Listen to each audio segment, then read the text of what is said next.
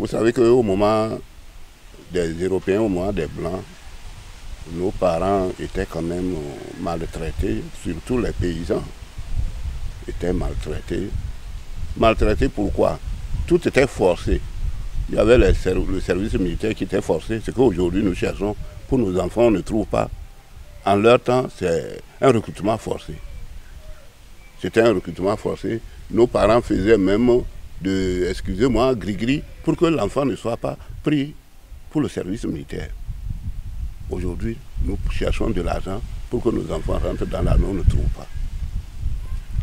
Alors moi-même qui suis ici, j'ai exercé un peu ces travaux-là, puisque la route du Gundali, vers les mois de novembre et septembre, octobre, novembre, on sarclait ça gratuitement.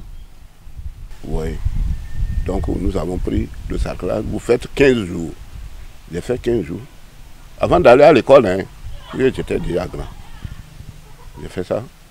Et après, quand j'ai fini mon tour, alors je suis rentré. J'ai trouvé qu'on a convoqué mon jeune frère direct pour l'école. Le, chef, le secrétaire du chef canton nous connaissait.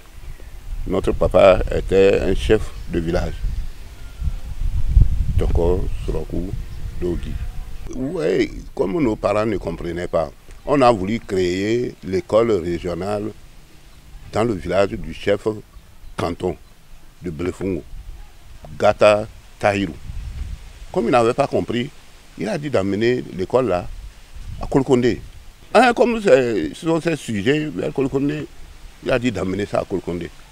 Ils ont amené l'école à Kolkonde. Mais pour faire le recrutement, on a pris sa fille, Alimatou Yara Gata, paix à son âme. À son âme. On l'a recruté et on a pris son, son petit-fils. Son petit-fils. Donc c'est à lui maintenant d'aller chercher là où ses enfants vont rester à Kolkonde pour fréquenter. C'est comme ça que les prêtres ont profité pour le voir, pour créer l'école catholique de Blefongo où moi j'ai été recruté. C'est après qu'il a compris. Et vers les années 50, 53, 54, ils ont créé l'école régionale de Blefongo. Il y a plusieurs camarades qui ont fui. Qui ont fui. Par exemple, moi, dans mon village, on était huit. Je suis resté seul. Notre village à Blefongo, par exemple, présentement, ça doit faire quelque chose de 5, 5 à 6 km comme ça. Mais en ce moment, ça faisait peur parce qu'il y avait la jungle. Nous, on avait peur des animaux aujourd'hui. Vous, votre génération, vous avez peur des hommes. C'est les hommes qui viennent barrer la route aux hommes pour les tuer.